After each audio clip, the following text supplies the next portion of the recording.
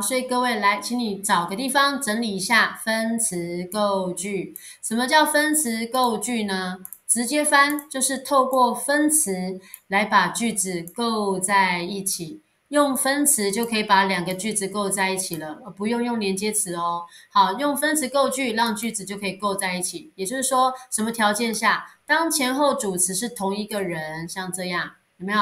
这个主词跟这个主词是同样一个人的时候，我们可以做什么事？当前后主词都一样的话，我们可以用分词来把句子做简化。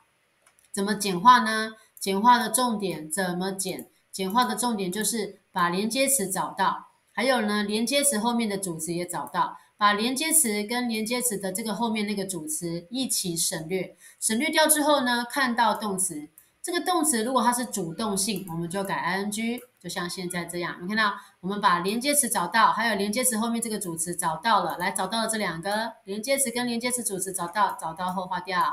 接下来后面这个动词如果是主动，就会改成 ing，有看到吗？这个 ing 是这样来的哦，主动改 ing。如果是被动呢？如果这个被动这个动词是需要是被动的，那我们就改 pp。好，所以各位留意，这就是分词构句哦，没有一定要连接词才可以把句子构在一起，分词也能够办到。好，再来我们看到第十九这个字，十九这个字呢叫 plumber，plumber。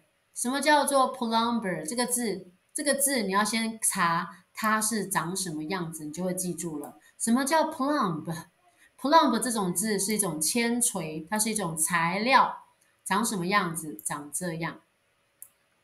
各位可以看到，很像水管，对不对？水管的衔接东西叫 plumb，所以 plumb 这个字是一种材料，它的名字叫铅锤，它可以当做动词，就是把东西装上去。可以拿来给装水管的，叫做 plumb。所以 plumb 这个字根抓出来叫做铅锤材料，字尾加 er 就是能够装铅锤的人，能够加装上这种铅锤水管的人，我们就叫 plumber。plumber。plumber 就是水电工、水管工，叫 plumber。接下来，如果把 plumb 这个铅锤材料再加上 ing，ing 当做名词使用，这边当做材料来翻，它是一种名词材料的意思。所以铅锤材啊，什么叫 plumbing？它是一种用铅锤这种材料来进行架设活动的工程，这叫做水管工程。用铅锤来当材料的工程叫做 plumbing。Plumbing，plumbing 水管工程这个字也有故事哦。古罗马那个时候，他们发明了用铅这种材质来造水管，所以就是现在各位看到这张图，用铅来造水管，其实是来自于古罗马那个时候，他们把铅这个材质拿来造的水管，可以埋在地底下的架设管线来当做供水使用。所以各位后来这个 plumbing。Plumbing 就是用铅来当做材料的水管工程，plumber 就叫水管工喽。好，接下来我们来看到他给我们的例句。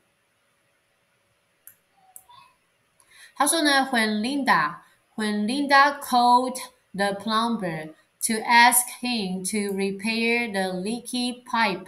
He said he couldn't arrive until noon. 我们的 Linda 当 Linda 呢 called 打电话给 plumber，我们的 Linda 打电话给水电工，然后呢 to ask 希望能够要求他来 repair 修理修理什么？修理那个 leaky 漏水的 pipe 管子。好，结果这个水电工 said 他说什么？He said he couldn't arrive，他没有办法 arrive 抵达，他手头上还有其他工作。He couldn't arrive，除非。直到中午，好，所以各位可以看到这个 plumber 是水电工的意思。好，接下来我们看 plumbing plumbing，plumbing ing 是材料，用这个 plumb 当材料的工程，好，它是自来水管线的意思。这边可以当做自来水的买水管的工程，也是自来水的管线。